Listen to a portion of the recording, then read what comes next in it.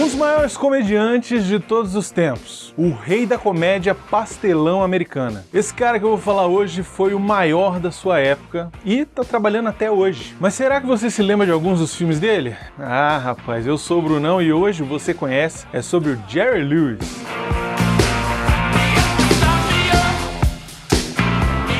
Nascido em Nova Jersey em 16 de março de 1926, Joseph Levitt assumiu o nome artístico de Jerry Lewis pegando emprestado o Lewis do seu pai. Daniel Levitt era mestre de cerimônias e ator daqueles tipos de teatro estilo vaudeville e usava o nome Danny Lewis. Já sua mãe, Rachel Brodsky, era pianista de rádio. Jerry Lewis começou então a se apresentar já aos 5 anos de idade, também no teatro vaudeville, e é por isso que ele se tornou um excelente cantor, dançarino e principalmente comediante de teatro pastelão, que era isso que passava no vaudeville. A fama no cinema veio junto com um cara, um parceiro dele chamado Dean Martin, que era um cantor famoso dos anos 40 e 50. Ele e o Dean Martin formavam uma dupla, onde um era o galã, o Dean Martin, e o Jerry Lewis era o palhaço, né, o bobo. Os dois começaram essa dupla no teatro e as apresentações começaram a fazer grande sucesso e eles migraram para o rádio, faziam aparições em alguns programas de televisão norte-americanos e logo depois, é claro, o cinema não podia ficar de fora. A Paramount fez um contrato com os dois e eles fizeram vários filmes de 1946 até 1956, quando a dupla acabou se separando. A partir dos anos 50, o Dean Martin já não se interessava mais pelos papéis e por aqueles filmes muito bobocas e tudo, então ele acabou meio que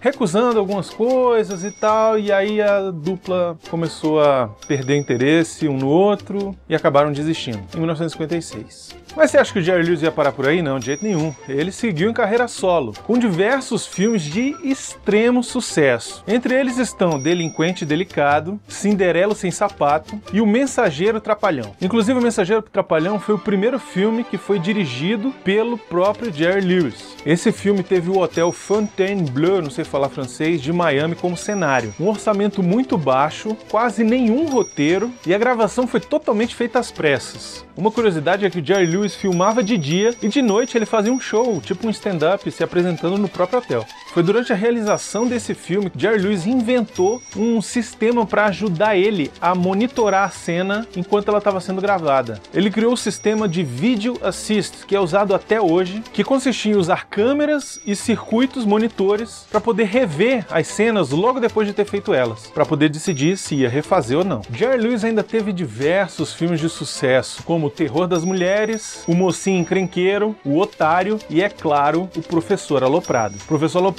que inclusive você sabe, né? Deve saber pelo menos, ganhou uma refilmagem com Ed Murphy e foi o que foi, né? Outro filme que é excelente dessa época do Jerry Lewis é um chamado Uma Família Fuleira, onde ele faz sete personagens. É incrível incrível. Hoje o Jerry Lewis está com 91 anos, já está com alguns probleminhas de saúde, mas ainda está nativa, fazendo uma pontinha aqui, outra ali, participação especial aqui. Inclusive ele participou até de um filme brasileiro, se não me engano, até que a sorte nos separe, três ou dois, qualquer coisa assim, que ele aparece em Las Vegas junto com o Leandro Hassum, fazendo um mensageiro de hotel, bem interessante. É um artista que a gente precisava homenagear aqui, vamos tentar homenageá-lo ainda em vida, né? Então tá aí a homenagem rápida aí do Você Conhece ao Jerry Lewis, que a gente tem que sempre homenagear um cara que é capaz de fazer uma cena como essa daí.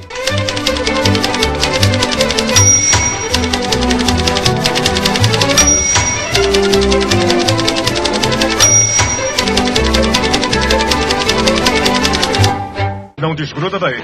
E é isso, gostou de saber um pouquinho mais sobre a vida e a carreira do Jerry Lewis? Então o que, que você vai fazer? Você já sabe, você vai acessar o portalrefil.com.br e vai escutar o que isso assim dessa semana, que nós estamos falando exatamente de um dos filmes do Jerry Lewis, Terror das Mulheres. Cara, ficou divertidíssimo. Então corre lá www.portalrefil.com.br, pega o que é isso assim e vai escutar lavando louça, no transporte público, no seu próprio carro, enfim, só escuta. E se você gostou desse vídeo, é claro que é importante você clicar no curtir. Esse curtir é importante porque ajuda o YouTube a entender que esse vídeo é relevante para a audiência do YouTube. E ele vai aparecer para mais pessoas por mais vezes. Outra coisa que é importante é você compartilhar o vídeo nas suas redes sociais, se inscrever no canal, clicar na sinetinha para receber as notificações e se você puder, você vai contribuir financeiramente com o nosso projeto do Refil, clicando aí nos links do Padrim ou do Patreon para ajudar a gente a continuar fazendo esse conteúdo para a internet. E é isso, muito obrigado pela audiência. A gente se vê